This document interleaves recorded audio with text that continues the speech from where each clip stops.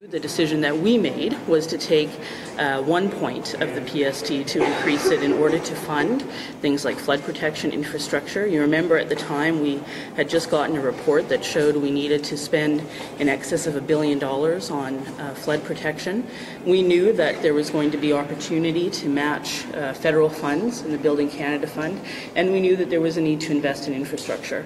And we wanted to do that without compromising the services that are important to Manitobans. So that's why we took the decision. The decision we made was to raise the PST by one point, and that's the only decision we made. What the government has is a real problem with its integrity. I mean, it claimed before the last election that it wasn't looking at raising the PST, and we now know that it was. Uh, it claimed during the election uh, the NDP would not raise the PST. We now know that they did, and now we have information coming forward that says they were looking at the uh, projections on a higher PST of 9%. They, some of them say they weren't, but the facts speak otherwise. So it's a, what the government has got itself into is a problem of uh, integrity. Uh, it's an issue of whether you can believe anything they say now.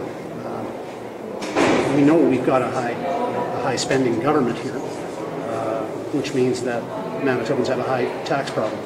And uh, the government wants to sell Manitobans on the need for higher taxes, they should be consistent and forthright and honest in doing that. Because tax, spend, and lie, that's not a very good combination for getting Manitobans to believe that you're sincere about what your agenda is for the future of our province.